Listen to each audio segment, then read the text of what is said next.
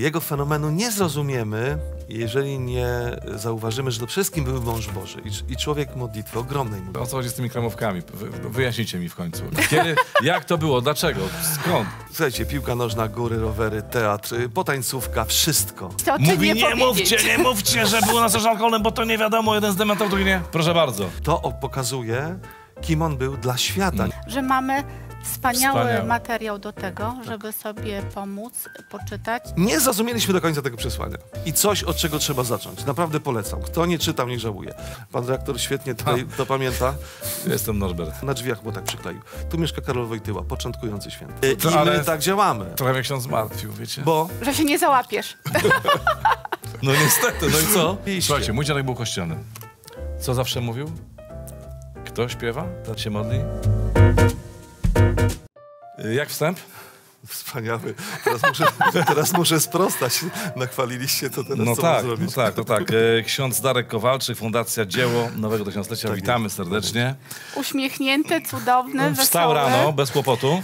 Tak, bez kłopotu jeszcze w ogóle was widziałem, jak robiliście wstęp, więc tym bardziej jestem pozytywny. Zobaczcie, zadowolony, zadowolony e, duchowny z rana to już jest e, naprawdę sprawa bardzo ważna i istotna. Proszę księdza, mamy dzisiaj e, 16 Października. października. Mhm. To jest e, i dla Kościoła, ale myślę, że dla w ogóle wielu ludzi to wyjątkowe święto. Y, Rozumiem, że prawie wszyscy wiedzą, ale może są tacy, co nie wiedzą, że w 2005 roku Sejm, y, nasz Sejm Rzeczpospolitej Polskiej ustanowił dzień, właśnie ten, 16 października, dniem papieża Jana Pawła II. Tego dnia przypada rocznica wyboru księdza kardynała Karola Wojtyły na stolicę Piotrową. Tak w roku 78 biały dym. Pamiętam, byłem y, bardzo młodym Naprawdę? chłopakiem, miałem lat ile? Z sześć chyba. Wolę nie, wolę nie pamiętać nawet. y, Minimalnie więcej, Ile ma ale teraz. Okej, że ten dym biały poszedł z komina, co oznaczało, że? Że nasz kardynał z Krakowa został papieżem Ojcem Świętym i przyjął imię Jan Paweł II. jako, rozumiem, pierwszy papież od XVI wieku spoza Republiki Włoskiej, spoza Włoch. Tak, ponad Spoza 500 Watykanu. lat. Spoza Watykanu, Tak, y, spo, spoza, Spoza- spoza, spoza Włoch przede spoza Włoch wszystkim. właśnie. No i zwróćmy uwagę, że jak był w Polsce już w Gnieźnie chociażby i we wszystkich innych miejscach bardzo mocno podkreślał, y, nie tylko papież Polak, ale papież Słowianin. On, No właśnie. rozumie, on miał tę świadomość, że reprezentuje właśnie tę część świata i tę nację. Natomiast no, oczywiście to było wydarzenie epokowe, bo naprawdę tego się nikt nie spodziewał. Chociaż to nie jest tak, że to był taki królik z kapelusza. Żebyśmy No nie, no byli- jasne, jasne. Dlatego, że był świetnie znany na przykład na Soborze Watykańskim II, gdzie na przykład jest taki dokument o kościele mm, Gaudium et Spes. W ogromnym stopniu jemu zawdzięczamy ten tekst i też rolę Maryi w kościele. Jemu właśnie on do tego dokumentu to, to włożył, więc on był znanym Proszę człowiekiem. księdza, czy to był taki pstryczek w nos komunistom, w ogóle w całym bloku wschodnim, yy, Sowietom, tutaj Polakom, no wiadomo, Czechom Miało i tak dalej, i tak znaczenie? dalej. Miało znaczenie. Znaczy, znaczenie oczywiście polityczne miało ogromne, z czego chyba moim zdaniem największy znak to był zamach. No właśnie. E, chwilę no potem, właśnie. przecież to jest raptem 3 lata Mhm. I, i był zamach. W związku z tym rzeczywiście to tak. Natomiast y, on miał cele zdecydowanie większe, bo to jest ym, skutki jego przepowiadania Ewangelii oczywiście były bardzo różne. My tylko się koncentrujemy na Polsce i tej Europie, Mhm. ale jeszcze weźmy Afrykę, Amerykę Łacińską, Azję. Y, Cały świat tak, Tak, naprawdę. kiedy, Dokładnie. kiedy, kiedy papież, no właśnie, to jest pytanie, yy, słuchajcie, które, które, o którym myślałem też. Kiedy ruszył? Bo rozumiem, że on zapoczątkował. Yy, Znaczy nie był pierwszym papieżem, ale, który... Ale tak, bardzo natomiast w tej skali, W tej zwłaszcza, skali. że ten pontyfikat był, pontyfikat był długi, oczywiście jak najbardziej. Ja tylko podkreślę jedną rzecz. Y, jaka była jego rola dla świata, dla naszej planety, powiedzmy szczerze. Y, kiedy był jego pogrzeb, prawie ponad 26 lat później, to weźmy pod uwagę, że tylko w samej randze król, premier, prezydent było 250 osób, Mhm. przy czym trzech prezydentów Stanów Zjednoczonych siedziało obok siebie. Obok siebie. Jeden urzędujący oczywiście z różnych partii Jakie to miało znaczenie, prawda, ogromne. Gigantyczne. To był znak. Normalnie jeszcze kilkadziesiąt lat wcześniej to Nie. nota kondolencyjna byłaby, wpłynęłaby przez y, reprezentanta Stanów Zjednoczonych. Oni do przyjechali, przylecieli. Trzech prezydentów Stanów Zjednoczonych siedziało obok siebie. Mhm. No pomijam też, y, nie, nie pomijam też różnych y, przede wszystkim królów, y, y, premierów i tak dalej.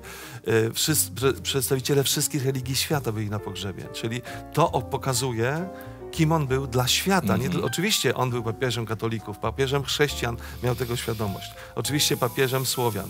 To jest, to jest, ale on miał świadomość tego, że jak mówi, mówi do całego świata i głosi Ewangelię do całego świata. I to naprawdę świat przyjął. No. Ksiądz Darku, czy, y, wracając do mojego pytania, czy ksiądz pamięta, czy ksiądz wie, kiedy ruszył papież, tak y, mówiąc po młodzieżowemu, na grubo w świat, żeby głosić Ewangelię? mm, no chociażby Meksyk. To, to, to, Od razu to było tak, rok, tak. pół roku po... W tej chwili nie, nie Już- pamiętam ale dokładnie poczę- daty, ale to początek. Mhm. było zaraz na początku. E, to jeszcze były takie czasy, kiedy trzeba było zapłacić karę za noszenie sutanny w Meksyku. Co Tak. ksiądz mówi, tak? Tak, ja myślałem, że to kraj jednak katolicki bardzo. No tak, ale rządzony przez różne opcje. Tym, Ale proszę Także nam to nie też, jest tak łatwo. też nam powiedzieć, zdradzić nam takie tajemnice, bo na pewno ksiądz e, wie, ma, ma taką wiedzę, jakim był człowiekiem, bo my bardzo dużo wiemy o papieżu, e, kiedy, był, kiedy zaczął być papieżem, kiedy wcześniej był księdzem, ale tak naprawdę e, chcielibyśmy też dowiedzieć się, jakim był człowiekiem, jakie, jak sobie też patrzył na takie też rze- rzeczy przyziemne tak naprawdę. Czy u niego akurat te najbardziej przyziemne rzeczy, o których mogę bardzo długo rzeczywiście opowiadać, O, to jest ciekawe. zawsze, zawsze y, łączyły się z wiarą. To znaczy, Mhm. y, jego fenomenu nie zrozumiemy, jeżeli nie zauważymy, że to wszystkim był mąż Boży i, człowiek modlitwy, ogromnej modlitwy. Jest taka scena w jednej z pielgrzymek, jak y, czeka transmisja, ileś tam set tysięcy ludzi, a papież odmawia brewiarz. I tam już podchodzą kolejni prelaci i mówią, że Zaczynam. Że już jest czas. Przed obrazem Matki Bożej, kończy brewiarz, dopiero rusza. Y, Zawsze miał prymat modlitwy. Na przykład y, w Częstochowie była taka sytuacja podczas pierwszej, pierwszej pielgrzymki, że ci wszyscy z, pap, z Wolopapale, czyli najbliżsi, najbliżsi współpracownicy mówią, pójdziemy wcześniej do kaplicy, żeby że stali odpowiednio wcześniej, przez, przyszedł szóstą, byli w kaplicy, okazało się, papież było piątej. No I właśnie. on ich przywitał, tak. To jest, to jest coś niezwykle istotnego. Natomiast był tak, znakomitym kolegą. Y, To w jego koledze, na szczęście te świadectwa są i te, także filmowe, możemy zobaczyć. Film Lolek polecam na przykład. Y, I kolejna sprawa, y, on miał czas na wszystko. Słuchajcie, piłka nożna, góry, rowery, teatr, potańcówka, wszystko. A przy tym świetnie nauczył się greki, łaciny, kilku języków obcych. Jak kardynał Ratzinger, kiedy go zapoprosił w 80 latach na początku do Rzymu, w swoich z kolei w książce odsyła Moje życie, Ratzinger pisze tak. Rozmawialiśmy nie po niemiecku, w perfekcyjnym języku niemieckim, a to jest różnica. Perfekcyjny. Perfekcyjnym Dobrze, proszę księdza, ale o co chodzi z tymi kremówkami? Wy, wyjaśnijcie mi w końcu. Kiedy, jak to było? Dlaczego? Skąd? O co No, chodzi? Dzisiaj u nas w kuchni, no ale no, tak, to- trochę historii. Papież jak był wtedy w Wa- Wadowicach i pokazywał swój dom rodzinny, Mhm. potem chrzy- chrzcielnicę, gdzie jak wspomniał po raz kolejny, wszystko się tu zaczęło, i wiara, i, i ministrantura, i kościół, i potem kapłaństwo i tak dalej. Potem pokazał, już y, kiedy y, kończyło się nabożeństwo, taki naprawdę wzruszony i nie wiem, akurat nie lubię tego słowa, ale użyjmy, wyluzowany. No, Jestem u siebie. No w związku z tym tu są moi rodacy. I on pokazywał. Zwróćcie uwagę, po lewej stronie ulica jest taka i taka. Tych ludzi nazywano tak i tak. Oklaski, brawo, oczywiście, bo rzeczywiście używał przezwisk, używał, używał lokalnego Pamiętał kolorytu, to. doskonale, że za tą górką tam jest coś takiego, Mhm. tak. No i potem, mówi, a tu była kiedyś tam cuk- cukiernia. Cukiernia. I po maturze chodziliśmy na kremówki i zaczął się stukać w nos i się śmiał. I Nie, ja też nie wiedziałem, o co, no co? o co No chodzi o to, że one były nasączone dość mocno alkoholem, czy tam Były nasączone! Popatrz! Słuchajcie, mamy pozdrowienia z Wadowic. Pozdrawiamy. My też serdecznie pozdrawiamy. Pozdrawiamy, dziękujemy. się. Stąd Ale był ten śmiech. Czyli jednak, zobacz, czyli... Ale pozwólcie, że jeszcze jedną rzecz powiem. Ale my poprosimy, poprosimy. Ale przed anteną, przed wejściem na antenę rozmawialiśmy tutaj z naszą Jasią, czy no... Czy powiedzieć to, czy Mówi, nie, nie, powiedzieć? mówcie, nie mówcie, że było nasączone alkoholem, bo to nie wiadomo, jeden zdementował, drugi nie. Proszę bardzo, Ja, źródło... by, znaczy ja nie jestem Poważnie. źródłem, bo akurat nie pochodzę z Wadowic, ale wiem, że one były nasączone i dlatego papież tak stuknął się w nos i pokazał, że tam niektórzy potrafili zjeść tam dwie czy trzy, no i stąd była ta, stąd była ta zabawa. Ale, znaczy dobrze, że tego dotykamy, bo Mhm. y, moim zdaniem, i to chyba To pierwszy raz na antenie mówię w telewizji, y, nie zrozumieliśmy do końca tego przesłania. Bo wszyscy się koncentrują na tych kremówkach, No tak. ale co papież powiedział? To dopiero kardynał Dziwisz y, często powtarzał, bo jak ludzie przyjść do Watykanu i potem spotykali się z nim, ten urok osobisty, który miał No niesamowity, to rzeczywiście Taką to... charyzmę, prawda? y, Charyzmę, ale też i to, jak rozmawiał z człowiekiem, to w tym momencie on cały był dla tego człowieka. Tam, się, tam przestawał istnieć świat i ludzie to widzieli, że Mhm. ten wielki człowiek te, te ileś minut czy sekund jest ze mną, tak?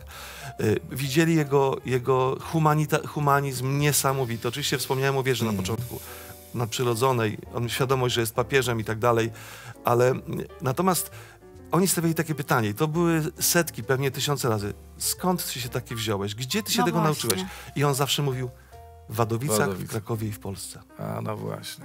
I o to chodziło. I te kremówki były jakimś stemplem, że ja naprawdę jestem stąd. Ja naprawdę tu się urodziłem. Ja naprawdę... Znam, y, ja naprawdę moją znam. wiarę, Mhm. format duchowy, ale też i odniesienie do świata, do ludzi. Y, Ja tutaj się tego nauczyłem. W związku z tym zwróćcie uwagę wtedy, kiedy my byliśmy drugą, trzecią ligą na świecie, kiedy naprawdę niewiele osób wiedziało, gdzie leży Polska i nagle takie światło dla świata, a on mówi, a ja tu się tego wszystkiego tu nauczyłem. Czyli kim, kim jest nasza ojczyzna, jakie ma pokłady właśnie i wiary, i humanizmu, i dorobek kulturalny i tak dalej, i tak dalej. I on to wniósł, a potem się okazało, że w randze świętości na arenę międzynarodową. Czy możemy mieć lepszego ambasadora? No nie, No nie nie. możemy. Czy można powiedzieć, że jest fenomenem dla nas wszystkich dalej cały czas? Y, Nawet i badania o tym mówią. To znaczy, y, wiele krzywdy mu wyrządzono różnymi No pogłoskami, właśnie. różnymi, różnymi atakami, które okazały się bezpodstawne. Mm, Natomiast wydaje mi się, że ta prawdziwa świętość jest nie do, nie do ruszenia. Każdy, kto nawet chwilę z nim był, kto czyta jego nauczanie. Ja do tego odsyłam. Teraz mieliśmy Dzień Papieski w niedzielę, więc Ewangelia Starości i Cierpienia. Zwracam uwagę na bardzo ciekawy temat. E, Proszę bardzo. Salvifici Doloris, list o chrześcijańskim sensie cierpienia i coś, od czego trzeba zacząć. Naprawdę polecam. Kto nie czytał, niech żałuje. W 99 roku napisał list do moich braci i sióstr, ludzi w podeszłym wieku. Podeszłym wieku, tak go zatytułował. Najbardziej osobisty. Yy, przepraszam, gruba książka? To, to jest lektura Ten na list- pół godziny. No dobrze, godzina, ktoś czyta. czyli dam radę. Absolutnie. Z przyjemnością. I końcówkę polecam. I to, Ja jak on na przykład mówi, a wy ale młodzi, nie to- bójcie się ludzie starszych. Podejdźcie do nich, zobaczycie, ile mogą wam oferować, więcej niż sobie zdajecie sprawę z tego, czy możecie sobie wyobrazić. Więc ja naprawdę, e, to są fantastyczne. Natomiast list o cierpieniu to jest wejście w najtrudniejsze tematy, bo to jest śmierć, cierpienie, Mm. samotność, depresja, e, wszelkiego Ale typu... borykamy się z tym, słuchajcie, tak- na tak, co dzień, na więc co dzień. Właśnie, nie co ciekawe, on tego... ten list dzisiaj dopiero bardziej rozumiem, niż czytałem go kilkadziesiąt lat temu. No właśnie, ale my też tam jest? potrzebujemy często takiej pomocy. e, Właśnie szukamy, gdzie ktoś Tak. może nam pomóc, gdzie możemy znaleźć trochę takiego ukojenia, albo nawet takiego, słuchajcie, zwykłego No zrozumienia. A oprócz tu się tego- okazuje, że mamy wspaniały, Wspaniały. materiał do tego, Tak. żeby sobie pomóc, poczytać i samemu przemyśleć pewne No tak, bo chodzimy do psychologa, sprawy. do lekarza, do psychoterapeuty i tak dalej. I wszystko, proszę. I to wszystko I jest potrzebne okej. i dobre, natomiast Mhm. y, tam papież stawia tak niesamowite tezy. Mówi, że y, oparł się na tym tekście świętego Pawła, który mówi, że w cierpieniach raduje się za was. E, No to nie jest paradoks? W cierpieniach się raduje? No cierpienia się boimy i odrzucamy, tak? I on pokazuje, że dopiero każde nasze cierpienie, Mhm. jeżeli jest- zjednoczone z krzyżem Chrystusa, ma tę wartość odkupieńczą i wtedy przestaje być bezowocne i bezsensowne. No dobra, Bo my dzisiaj z tym się bardziej zmagamy. No właśnie, ale czy my dziś możemy korzystać z tego, e, czerpać jakby coś dla siebie? No bo też myślę, że to byłoby takie No właśnie, czy, prze, cenne, czy przetwarzamy nie? te jego nauki? Moim zdaniem to przecież on po to napisał, tak? To Mhm. są listy do całego świata skierowane, do wszystkich ludzi dobrej woli. Ludzi, Mhm. którzy wierzą, ale też którzy chcą uwierzyć. I też ogromna rola ludzi, ludzi wierzących, żeby, żeby też swoim życiem to pokazywać, tak? To No dobra, I on akurat pokazał, bo i przeżył zamach i Parkinsona, i tysiąc innych chorób. I w zasadzie Poliklinika. Gemelli była drugim Watykanem, czy trzecim niektórzy mówili, bo tyle czasu tam spędził. Tak. Kilka operacji i tak dalej. On naprawdę wiedział, co mówił. Y, I, I gdy się na niego patrzyło... Jeszcze jedna rzecz, to oceny medialnej bardzo istotne. Pan dyrektor świetnie tutaj to pamięta. Jestem Norbert. Panie Norbercie, wobec tego y, pamiętamy odchodzenie, tak? Słuchajcie, największe agencje świata i największe stacje mówiły pierwszy raz temat samotności, cierpienia, tego zdania się na łaskę i niełaskę ludzi y, zaistniał w pełni na antenach, na łamach i na stronach internetowych właśnie z chwilą śmierci papieża, który otworzył Tak, swój pontyfikat na tak media, jest. ale także i śmierć i umieranie też otworzył na, na media. Że to jest rzeczywistość człowieka, nie bójmy się o tym myśleć. Prawie wszyscy byliśmy wtedy na żywo, prawda? Tak, no Tak. ja byłem akurat wtedy w USA, ale no śledziłem i tak, to czekałem, byłem, byłem, byłem no wszyscy byli spięci, no to było coś bardzo przykrego, fa, no, fatalna Tak, aczkolwiek informacja. muszę powiedzieć, że y, ogromny smutek i nieprawdopodobna radość, że Bóg dał nam kogoś takiego, że On tak pięknie spełnił człowieczeństwo, że był tak znakomitym księdzem, biskupem i papieżem. no i pytanie, To jest i pytanie kolejne, jak młodzież postrzega Jana Pawła II, czyli ta młodzież, No rozumiem, bo która... ci, którzy mają wspomnienia, Tak jak my, potrafimy, tak. Potrafimy jeszcze mamy znajomych, przyjaciół, ja też w rodzinie e, miałam cudownego człowieka, który opowiadał też, że znał się z, na, z, na, z papieżem. E, i tutaj mm, myślę sobie, że mamy dużo takich łączników w postaci ludzi, ich wspomnień, ich doświadczeń. Tak jest. Ale młodzi ludzie, Którzy nasze nie dzieci urodzili to... się, Tak. nie wiem, po Słuchajcie, 2005, y, czy tam, czy, czy. Nasza fundacja Dzieło Nowego Tysiąclecia ma No właśnie. 2100 stypendystów, więc ja z nimi w wakacje jestem na iluś tam obozach i to jest moja łaska od Boga dana, że, że mogę z tymi młodymi rozmawiać, słyszeć ich y, opinie, pytania, Aha. których stawiają miliony i tak dalej. Trudne I rzeczywiście- rozmowy. I trudne, Trudne? i tak. Ale naprawdę, uwierzcie mi, to jest coś fantastycznego. E, I teraz tak, gdy się rzuci hasło Jan Paweł II, rzeczywiście niektórzy się uśmiechają, mówią, a księdza, to memy, kremówki, coś tam, coś tam, coś tam. Mhm. Za, mówię, dobrze, no teraz y, mam taki pewien tekst. Na przykład napisał list do ludzi młodych w 85 roku, par, y, Paratis Semper, taki list. Zaczynamy czytać. Wow, Okej. ojej, to jest jakby o mnie. Nie, to są moje problemy. Listy mój, zobaczcie, napisane 19-letni ileś lat Wojtyła, który pisał do swoich przyjaciół. Kiedy to było? No przed... ale czytają, mówią, to jest dola studenta, przecież my jesteśmy tacy sami. Mówi, zobaczcie, dlatego wam go Aktualne. daliśmy, Kościół go daje jako świętego, y, a my wam dajemy go na co dzień w takich małych porcjach, naprawdę małych, takich kwadransach. No nowoczesna forma. Bo... Zanim y, się ośmiejecie, zobaczcie, a potem jeszcze zobaczcie tę postać. Blisko, lolka małego Wojtyła, jak gra w piłkę i tak dalej, chodzi do kościoła, jak, jak, jak się uczy, jak tak dalej. Zobaczycie, co mówią jego przyjaciele, jakim był wspaniałym przyjacielem, kolegą, jakim znakomitym studentem. Tak na marginesie robili sobie takie e, ciekawe historie, były w Krakowie na studiach na, na polonistyce. Robili sobie takie dwuwiersze, takie na drzwi, gdzie mniej więcej to charakteryzowało postać. Jeden kolega napisał tak, na drzwiach mu tak przykleił. Tu mieszka Karol Wojtyła, początkujący święta. Nie, wie, nie wiedząc, Ale nie wiedząc. przepowiedział. Nie wiedząc, nie wiedząc. Właśnie uwaga, na kogo się śmiejemy. Uwaga, z czego się śmiejemy. Bo często ci wyśmiewiani potem okazują się wielcy, Wielcy. więc spokojnie, tutaj Często tak bywa. Księdza Darku, jest takie hasło. E, proszę rozwinąć. Duchowy GPS. Co jest grane? O co no to, y, to jest temat naszego obozu, który się odbył w Myczkowcach nad Soliną. Y, W to są- Myszkowcach. Tak, Grałem tam koncert latem. Przepraszam za prywatę, ale świetne miejsce, piękne. Kto nie był? dziękuję. Bardzo proszę. Przepiękne, prawda? Księdza. Fantastyczne. Świetni ludzie, super miejsce. Tak, blisko Bieszczady, Tak Solina w ogóle i tak dalej. Duchowy GPS. Y, To jest, oni wchodzą w dorosłe życie studenckie Mhm. i chcieliśmy im też pokazać, że, em, że em, potrzebujemy kompasu w życiu, potrzebujemy wartości, Mhm. potrzebujemy jasnego przekazu. Drogowskazu. Tak jest. Jak Czyli żyć, jak GPS-a, no mówiąc. I dlatego tam Wprost. było napisane Jezus, Mhm. duchowy GPS. To też mieliśmy na obozie w, w, w Bielsko-Żywieckiej Diecezji, tam byliśmy w Biesku, Żywcu, w Cieszynie, Mhm. w Łodygowicach. W ogóle całe tam Beskidy schodziliśmy i tak dalej. I im też to pokazywaliśmy, bo e, każdy z nas, no, nie zmieniajmy Ewangelii. Nie samym chlebem żyje człowiek, tak? No wszystko możemy mieć zabezpieczone. Dlaczego jest pustka? No bo my potrzebujemy czegoś więcej, No tak? właśnie. My potrzebujemy wiary. Potrzebujemy wiary, rozmowy w Silver TV oczywiście, z takim wspaniałym gościem jak, jak dzisiaj. E, rozumiem, że jak na. YouTube'a sobie wejdziemy i wpiszemy duchowy GPS, wakacje stypendystów, tak? W diecezji bielsko-żywieckiej, to zobaczymy to? To oczywiście, Obejrzymy? tak. Ale Tak, poczekajcie, dzielo.pl. poczekajcie Odsyłam na stronę Do dzielo.pl. fundacji, Strona y, do fundacji możemy dotrzeć, możemy was znaleźć, tak? E, bo fundacja zajmuje się oczywiście wyjazdami, mm, ale No, chcemy przede wszystkim więcej. za, zajmujemy się stypendiami dla młodych. Mhm. Nie? To jest y, tak szybciutko. Y, mamy 2100 stypendystów Pokaz- w całej Polsce. pokazujemy teraz właśnie Tak, adres, adres e, żeby tak. można było A ja i księdza sobie... tak. znaleźć. A, bo jest, no tak, jest materiał. No w każdym razie Cudnie. y, to jest tak, wchodzimy do programu stypendialnego, który od 7-8 klasy jak wchodzimy, Mhm. on towarzyszy do ukończenia studiów. To nie jest jednorazowa pomoc, to miesięczne stypendium. Na studiach jest troszkę większe, no bo wiadomo, studenci mają większe potrzeby. Y, To, są, to jest formacja w ciągu roku. Te obozy dla wszystkich trzech grup wiekowych, czyli uczniowie, studenci i maturzyści. Ale cudnie, I my ale- tak działamy. Trochę mnie ksiądz zmartwił, wiecie? Bo że się nie załapiesz. No niestety, no i co? Ale można pomagać stypendystom, którzy tego są warci, którzy Mhm. chcą się rozwijać, a e, powiedzmy sytuacja domowa czy finansowa jest delikatnie mówiąc nie najlepsza. Okej. Też i sytuacje są różne, wiecie, no, nasze rodziny są bardzo różne. Mhm. Niektóre są piękne, zdrowe i tak dalej, inne przeżywają bardzo duże problemy, a tam się takie perełki rodzą. I właśnie dlatego zbieramy te pieniądze. Czyli Ale te wyjazdy Powiedz, są takie jednorazowe, czy utrzymujecie cały, Cały- cały, czas? znaczy kontakt, przez ten, rozumiem, przez ten Kontakt czas? cały rok, bo teraz są takie dwa, dwa poziomy fundacji, czyli uczeń najczęściej decyzji, w swoich miejscowościach i tam ma swoje spotkania i tak dalej, ale na studia najczęściej opuszcza swoją miejscowość, wyjeżdża dalej. No Czasami tak. bardzo daleko. No tak. jak na warunki polskie. I tutaj mają wspólnoty akademickie. I ten, ten kontakt w ciągu roku jest cały czas.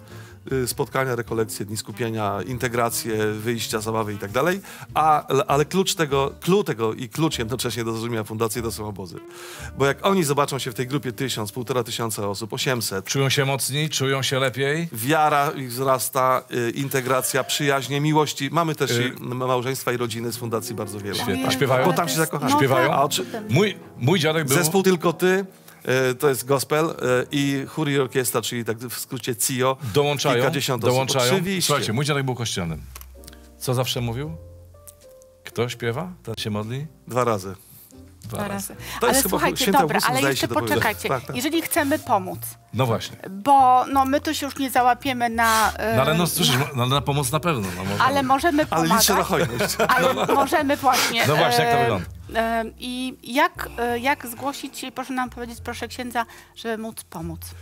Y, To jest tak, teraz jeszcze przez y, dwa tygodnie działa SMS, nie, do końca października.